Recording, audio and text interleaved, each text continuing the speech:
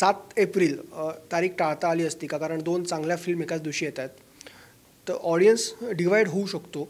तर असं नाही वाटत का की ती- ती तारीख टाळता आली असती किंवा त्याच्यामागे किंवा पुढे आपण गेलो असतो? तारीख आपण एखादी जेव्हा चूज करतो ना फिल्मची त्याच्यामागे खूप टेक्निकल गोष्टी असतात. म्हणजे एका दिवशी दोन चित्रपट येतात ही गोष्ट नसते कधीच.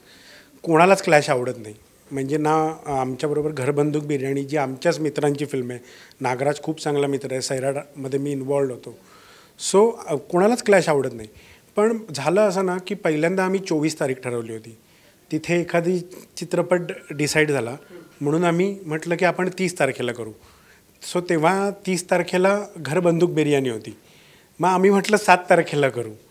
सो मग घर बंदूक बिर्याणीनी तारीख चेंज केली. सो काय आहे आपल्या पण आमच्या फिल्मवरती पण म्हणजे फिल्ममधल्या लोकांना किंवा या सगळ्यांना कॉन्फिडन्स येण्यासाठी we cannot keep changing the dates so सात तारीख वी म्हणजे आम्हाला वाटलं की आम्ही एकटेच आहोत आणि आम्ही सात तारीख डिसाईड केली होती. पण नंतर जी फिल्म होती त्यांनी तीस तारखेची सात तारीख केली.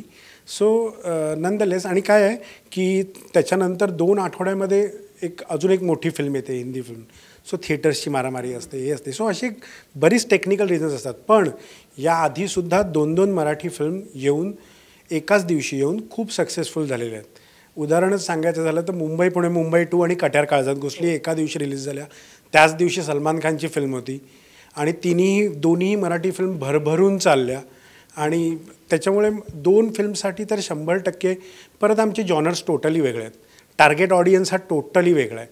म्हणजे घरबंदूक बिर्याणीचा टार्गेट ऑडियन्स आणि सर्किटचा टार्गेट ऑडियन्स हा टोटली वेगळा आहे. सो त्याच्यामुळे आत्ता आम्ही या डेटवरती स्टेबल आहोत. पण we wish good luck to Ghar Banduk Biryani also तीही फिल्म खूप चालावी आणि ही ही फिल्म खूप चालावी एवढंच आमचं म्हणणं आहे.